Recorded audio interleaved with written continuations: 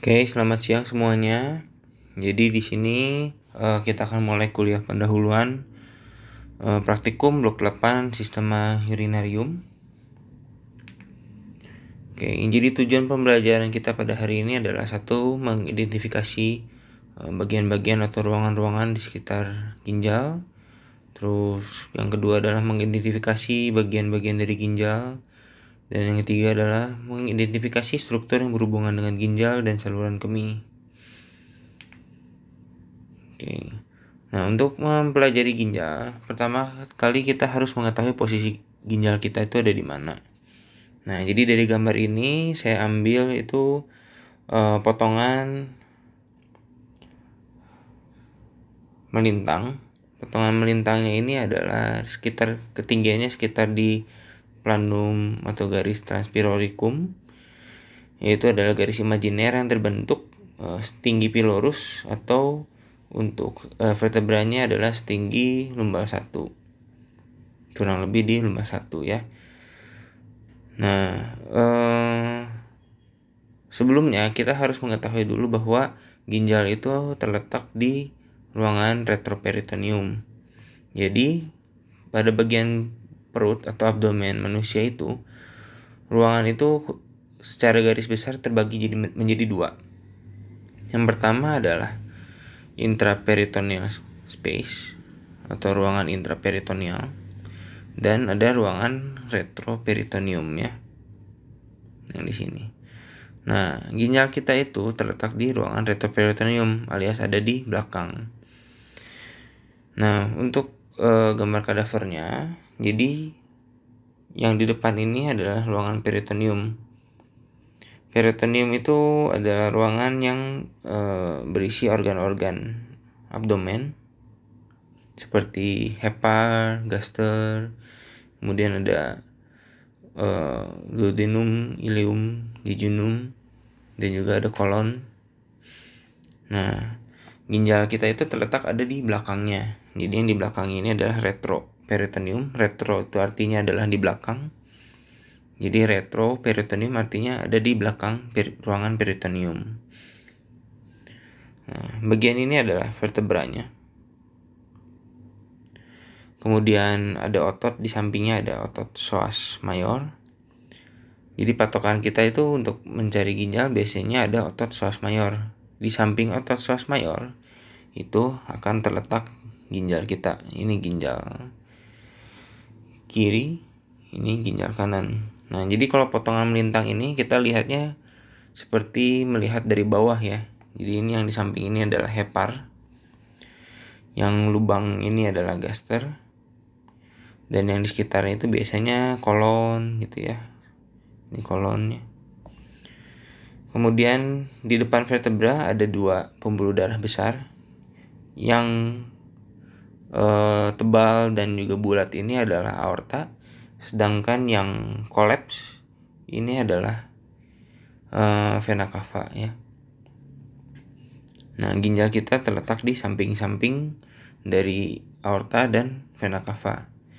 Karena nanti sistem pembuluh darahnya juga berasal dari aorta dan vena cava.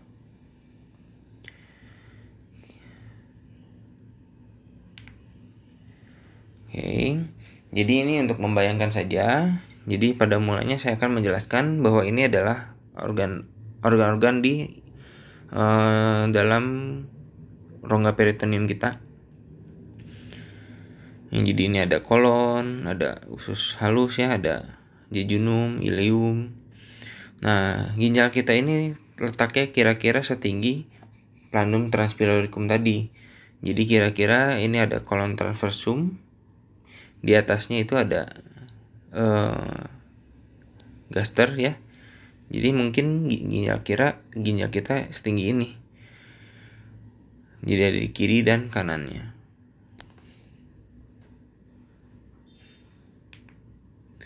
Nah semua organ-organ tadi kita buang kita lepaskan. Maka akan terlihat uh, lapisan peritoneum yang ada di bagian belakang Nah, di sini terlihat organ-organ yang ada di, di retroperitoneum itu ada yang pertama adalah pankreas, terus sebagian dari duodenum. Ya, di sini. Nah, kalau yang di samping ini adalah lien ya. Hepar letaknya di sini, cuman sudah diangkat. Oke. Nah, ginjal kita ada di mana? Ginjal kita kira-kira ada di setinggi pilorus tadi. Pilorus itu kan kelanjutannya adalah duodenum. Ya, jadi pilorusnya ada di sini. Ini planum transpiloricumnya. Berarti ginjal kita ada di samping-sampingnya sini. Nah, bisa dilihat di gambar diagramatis di samping bahwa ini adalah ginjalnya ya ada di samping dan letaknya di belakang. Yang putih-putih ini menggambarkan uh, lapisan peritoneum pada dinding belakang abdomen. Ya. Yang ini adalah pankreas.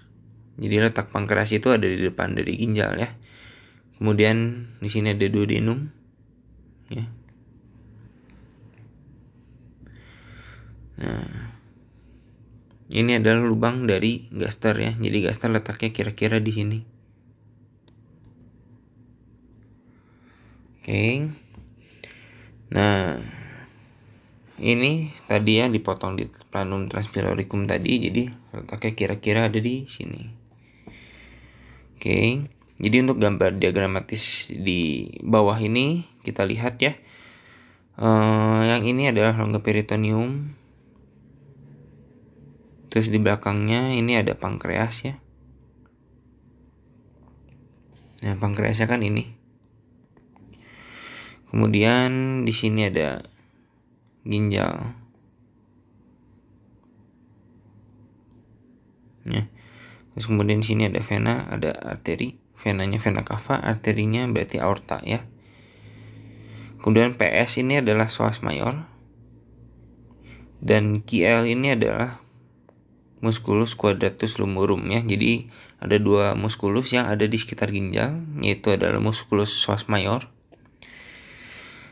Uh, di depan musculus psoas mayor itu ada musculus psoas minor.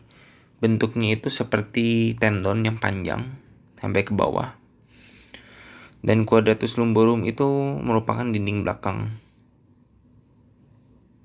Ya. Nanti bisa kita lihat lagi di preparat selanjutnya ya. AC ini adalah kolon ascendant dan DC ini adalah kolon descendant ya balik lagi uh, untuk potongan melintang ini biasanya kita akan melihat dari arah bawah ya. Jadi yang ascendant sini kanan ya. Yang descendant sini bagian kiri ya. Dan kita lihat juga uh, vena cava itu ada di kanan sedangkan aorta itu ada di kiri ya. Oke lanjut jadi lapisan peritoneum tadi nah, lapisan peritoneum yang ini semuanya dilepaskan sehingga terlihat bagian atau organ-organ peri, uh, retroperitoneum dan juga pankreasnya juga sudah dilepaskan maka akan terlihat seperti ini. Oke. Nah kita identifikasi dulu struktur-struktur yang ada di samping dari ginjal ya jadi ini ada ya tentunya ini ginjalnya Terus di, di atas ginjal itu pasti ada kelenjar ya, kelenjar adrenal atau suprarenal ya. Kemudian pembuluh darah yang besar ini yang di tengah ini ada dua. Yang lebih di arah kanan itu adalah vena cava. Yang lebih di kiri adalah aorta. Oke. Nah, bisa dilihat di sini vena cava akan mem, uh, merupakan muara dari vena renalis dan aorta uh, akan mempersabangkan ke arteri renalis ya. Nah, bisa dilihat juga vena renalis ini letaknya lebih anterior dibanding aorta. Aorta di sini yang dimaksud adalah aorta abdominalis. Karena uh, aorta itu nanti bisa kalian dipelajari di blok-blok selanjutnya. Uh, jadi aorta itu kan berasal dari jantung, kemudian akan menjadi arcus aorta. Jadi jantung mengarah ke atas, kemudian menjadi arcus aorta dan berbelok turun ke bawah menjadi aorta pastorakal dan juga pada saat mencapai abdomen maka aorta tersebut disebut aorta abdominalis.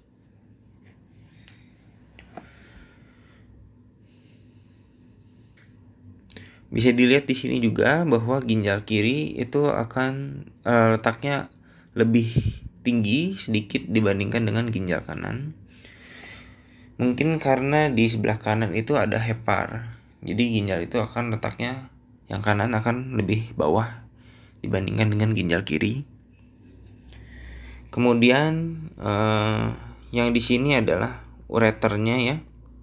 Jadi cairan-cairan semua yang dikumpulkan di glomerulus ginjal nantinya akan dikumpulkan ke kalix dan bermuara ke pelvis renalis dan berlanjut ke ureter. Nah, di sini adalah ureternya. Untuk pelvis renalis dan kalixnya nanti kita lihat di gambar selanjutnya. Struktur yang bisa dilihat di sini juga. Di sini ada cabang arteri kecil ya yang menuju ke bawah Nah, cabang ini merupakan uh, kalau di laki-laki menjadi arteri testikularis, sedangkan kalau di perempuan uh, arteri ovarika. Nah, sedangkan venanya, venanya berasal dari sini. Ini ada vena testikularis pada laki-laki. Kalau yang kanan berasal dari vena cava langsung atau bermuara ke vena cava langsung, sedangkan pada uh, vena testicularis yang kiri itu bermuara ke vena renalis. Nah, kemudian uh, tentunya kalau pada perempuan namanya berubah menjadi vena ovarica. Tapi untuk garis besarnya mungkin uh, bisa disebut juga menjadi vena gonad ya.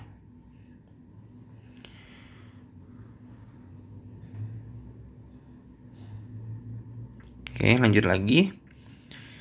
Nah, di sini kita mau lihat lapisan-lapisan dari uh, pelindung dari ginjal. Jadi kita lihat dulu gambar di kanan bawah bahwa ginjal itu lapisannya uh, berlapis-lapis dan dilapisi oleh jaringan lemak ya. Nah, jadi kalau dilihat dari depan, paling depan itu adalah tentunya peritoneum Kemudian di belakang dari peritoneum itu akan terdapat fascia renalis. Ya. Perlu diingat bahwa buku yang saya pakai di sini adalah buku dalam bahasa Inggris. Jadi e, kalau bisa kalian nanti untuk pelajarinya itu harus diubah dulu ke bahasa Latin ya. Nah, di sini adalah fascia renalis. Uh, kemudian di dalam fascia renalis itu ada perirenal fat. Ya. Jadi perirenal fat ya tentunya peri itu artinya di sekitar ya. Renal itu adalah ginjal dan fat itu artinya lemaknya. Jadi ini merupakan lapisan lemak yang ada di sekitar ginjal dan lapisan lemak tersebut banyak serta melingkupi sampai ke dalam uh, rihilum renale dan sampai ke sinus renalnya juga. Nah, terus balik lagi tadi ke renal, fascia renalisnya itu akan melingkupi dari depan sampai ke belakang. Ya, jadi ada layer atau lapisan yang anterior dan lapisan yang posterior. Ya, ini. Kemudian di dalam atau di belakang dari fascia renalis itu terdapat para renal fat. Jadi eh, kalau diurutkan dari dalam mungkin secara histologis bisa disebut yang melapisi ginjal langsung adalah eh,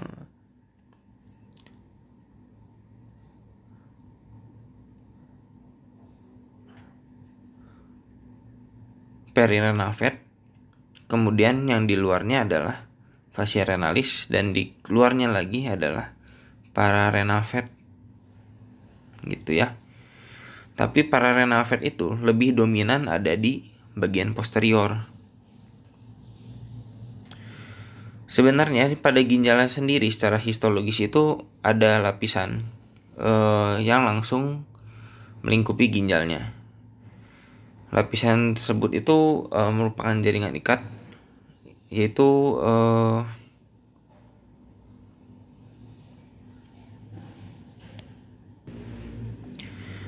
kapsula fibrosa. Nah, jadi yang jaringan ikat yang melingkupi ginjal itu adalah kapsula fibrosa ya, langsung di luarnya ada perirenal fat, di luarnya lagi ada fascia renalis dan di luarnya lagi terutama di bagian posterior ada pararenal fat. Atau kalau misalnya di bahasa Latin kan menjadi corpus adiposum ya. Corpus adiposum perirenal dan corpus adiposum pararenal.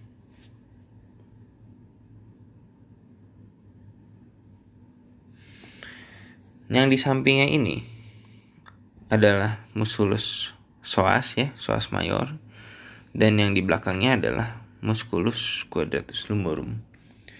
Oke, kita lihat ke bagian yang kadaver. Ini saya ambilnya dari buku Elsevier ya. Jadi yang paling luar ini, jadi ini lapisan peritoneumnya kan sudah dibuang, sehingga terlihat ada fascia renalis, ya. Kemudian ini fascia renalis di dalamnya ada perirenal fat atau corpus adiposum bagian perirenal. Kemudian di dalamnya lagi ya tentunya ini adalah uh, kapsula fibrosa dari ginjal ya. Nah, terus struktur-struktur yang di sekitarnya ya ini vena cava. Kemudian ini berarti vena renalis ya, muaranya ke vena cava. Kemudian ini cabang-cabang dari arteri renalis. Kemudian otot yang di sini adalah musculus psoas mayor. Ya. Nah, nanti kalau misalnya dilihat di belakang ginjal, itu akan terdapat musculus quadratus lumborum.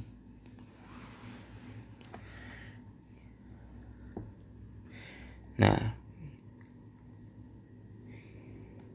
Yang di atas ini adalah glandula suprarenal. Jadi mungkin nanti kalian akan pelajari bahwa ginjal kanan glandula suprarenalnya akan berbentuk seperti segitiga. Sedangkan ginjal yang kiri uh, glandula suprarenalnya akan berbentuk seperti bulan sabit atau crescent ya.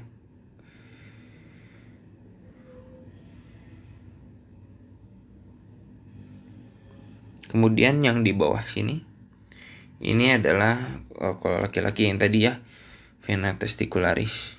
Sedangkan kalau yang ini yang kanan, yang sedangkan kalau yang kirinya nanti akan bermuara ke vena renalis yang kiri.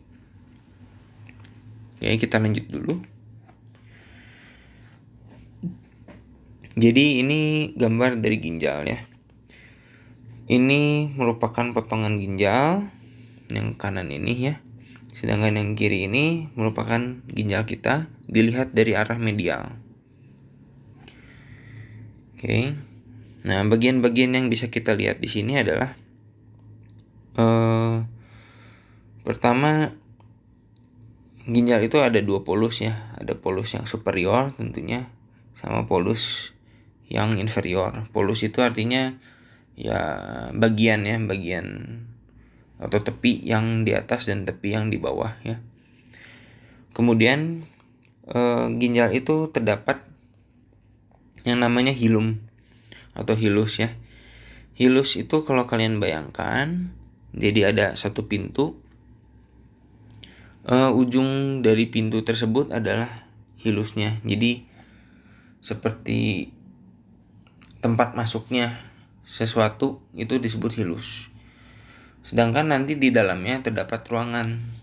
Nah, ruangan tersebut disebut dengan sinus. Oke, jadi kalau di sini kalian lihat ini adalah pintu masuknya. Jadi yang di sini disebut dengan hilus.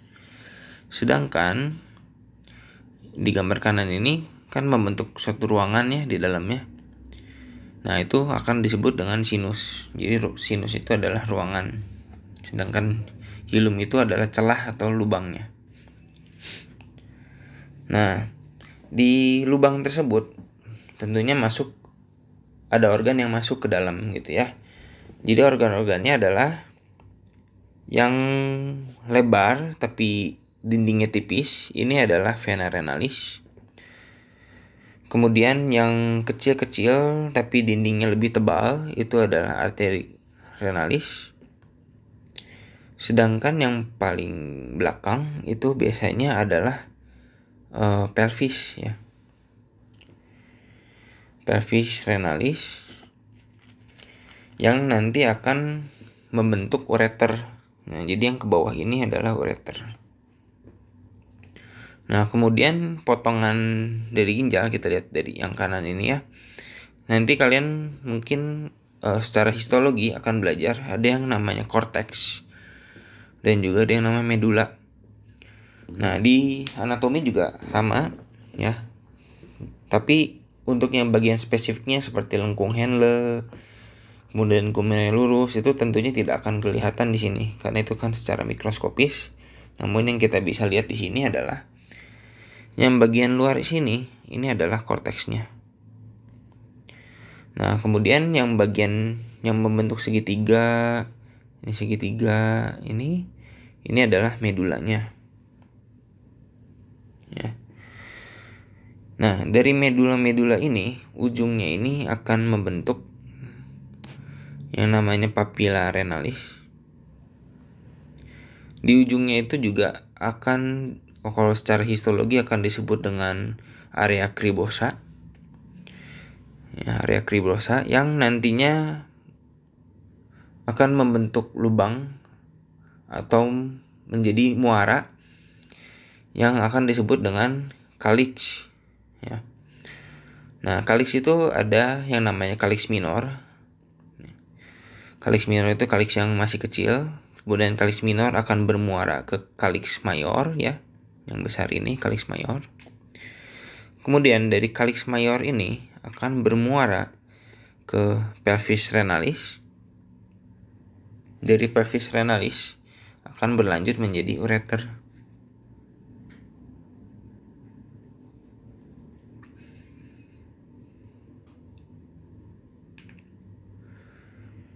Nah, selanjutnya ini adalah uh, bagian dari aorta abdominalis. Ini vena kavanya dipotong ya sehingga kita bisa lihat arteri renalisnya. Ini arteri renalis yang kiri ini arteri renalis yang kanan. Kemudian ini ada sedikit pembuluh darah yang kecil ini ini merupakan uh, arteri suprarenalis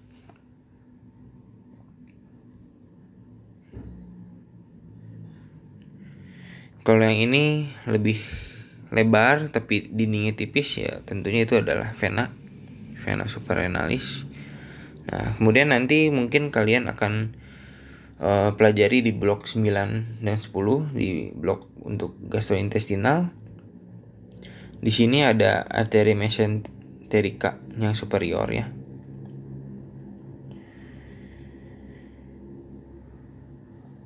Nah, kalau yang cabang langsung dari aorta abdominalis ini ya arteri uh, testicularis atau arteri ovarica ya. Yang di sampingnya adalah musculus psoas mayor. Yang di belakang sini nanti kalian akan lihat itu ada musculus quadratus lumborum.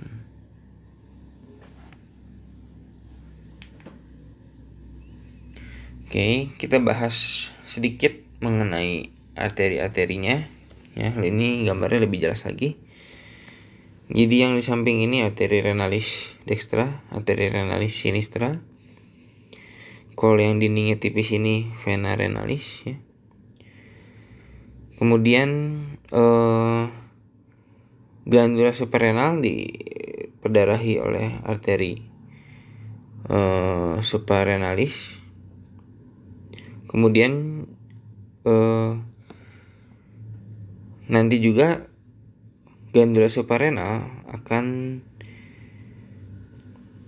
mendapat perdarahan juga dari cabang dari arteri renalis ya. Nah, contohnya yang ini. Kemudian yang di samping ini adalah arteri testicularis atau arteri varica. Yang di bawah ini adalah arteri mesenterica inferior. Itu nanti dipelajari di blok lab 910. Kemudian kalian harus membedakan ya. Di sini ada musculus vas mayor. Ehm, jangan sampai tertukar. Di sini ada arteri testicularis atau arteri varica. Nah, di bagian lateralnya ada ureter jadi ureter itu berjalannya di, daerah lateral terus kemudian mengarah ke medial ya di sini. Sedangkan kalau arteri testicularis atau varica itu mengarahnya ke arah lateral. Nanti di bawahnya itu akan bersilangan ya seperti gambar diagram di sini. Dia akan bersilangan di bawah.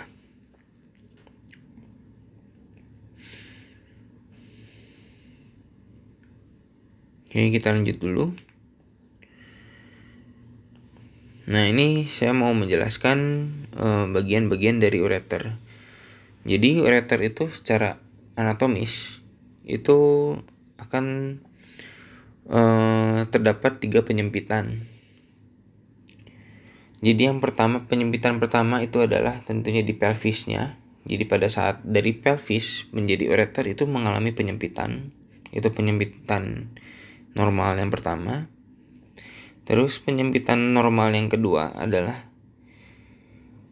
di uh, pada saat ureter tersebut masuk ke uh, rongga pelvis ya.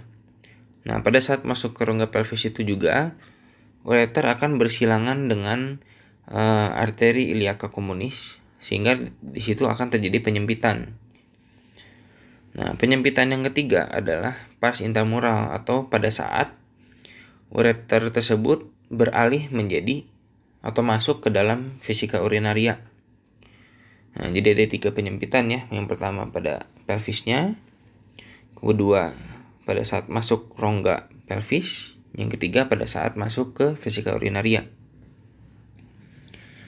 Nah, bisa dilihat di sini ureter itu jalannya ke arah medial ya. Jadi dari lateral psoas mayor, terus jalan ke arah medial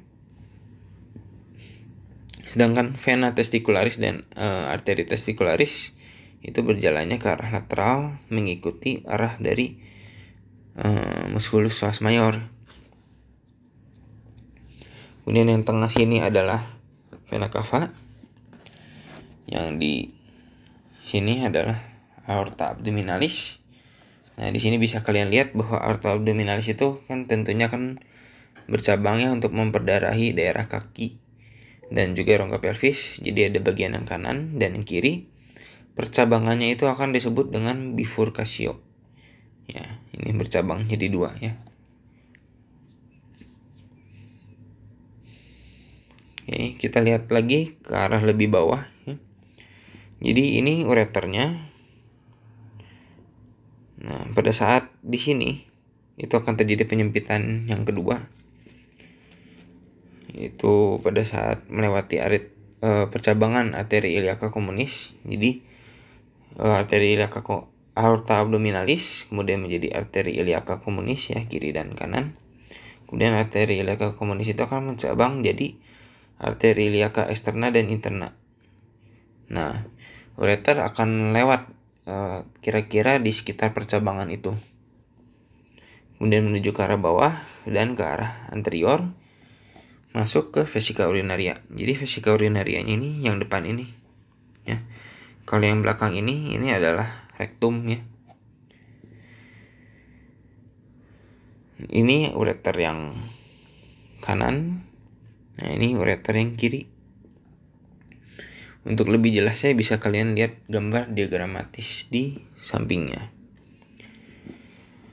Ini ada musculus psoas mayor ya Terus kemudian yang bentuknya seperti tendon ini ya seperti yang saya tadi jelaskan itu adalah tendon dari musculus psoas minor.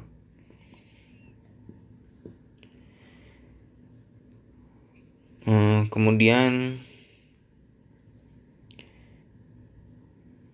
kita lanjut lagi ke gambar selanjutnya. Nah ini yang di belakang ini adalah rektumnya. Kemudian yang di depan sini adalah vesika urinaria. Nah jadi di antara rektum dengan vesika urinaria itu ada celah Nah, tapi nanti uh, kita bagi lagi ya. Jadi uh, antara laki-laki dan perempuan itu beda. Kalau laki-laki karena tidak ada uterus, maka dari rektum, rektum itu uh, bagian belakang ya, dan vesika urinaria itu akan langsung berhubungan. Nah, di antara rektum dan vesika urinaria pada laki-laki itu ada celah atau ruangan. Ruangannya itu disebut dengan uh, recto spasium uh, recto vesicalis recto vesicalis uh, sedangkan nanti pada perempuan itu akan ada dua ruangan yaitu ruangan uh, recto uterina atau excavation recto uterina dan excavatio vesicouterina. Kita bahas nanti ya. Nah, ini ureternya, lihat nih ada penyempitan, kemudian dia akan jalan ke depan dan masuk ke uh, vesika urinaria. Nah, kalau kalian lihat di sini, ureter pada saat masuk ke vesika urinaria itu tidak langsung masuk, tapi jalan dulu di dinding vesika urinaria hingga nanti akan ada lubangnya Nah ini lubangnya ya. Jadi jalan menyusuri dinding vesika urinaria dan nanti akan uh, membentuk lubang. Nah lubang itu akan disebut ostium. Kemudian uh, nanti kalian lihat juga pada struktur pada vesika urinarianya. Dindingnya itu akan ada musculus detrusor. Kemudian eh, ini adalah ruangan vesika urinarianya. Kemudian yang ke bawah ini adalah ostium uretra internum Nah, di antara ostium ostium tadi atau lubang-lubang tadi akan membentuk trigonum. Ya, trigonum tersebut akan disebut trigonum vesicalis.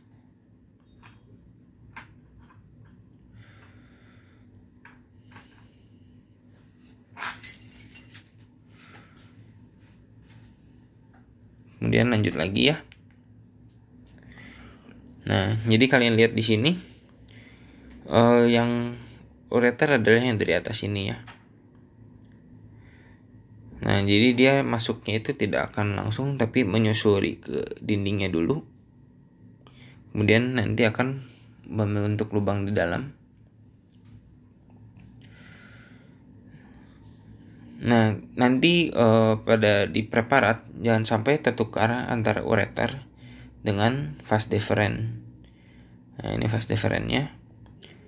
Vas deferens itu adalah organ kelamin salah satu dari organ kelamin dari laki-laki untuk menyalurkan sperma dari testis menuju ke uh, ductus ejaculatorius ya. Nah, tapi nanti ini akan kalian pelajari di blok 15-16. Yang di belakang ini adalah vesicula seminalis. Nanti akan bergabung dengan ductus deferens akan menjadi ductus ejaculatorius nantinya ini akan bermuara ke uretra. Yang di samping ini di dinding-dinding ini adalah musculus detrusor. Nah, kemudian di sini akan menjadi uretra ya. Jadi ini adalah rongga vesika urinarianya. Kemudian di sini akan menjadi uretra. Nanti uretra juga akan dibagi-bagi ya. Jadi ada uretra pars intramural, pars prostatika, dan juga ada uretra uh, pars membranacea uretra pars spongiosa nah, itu pada laki-laki. Sedangkan pada perempuan uretranya tentunya lebih pendek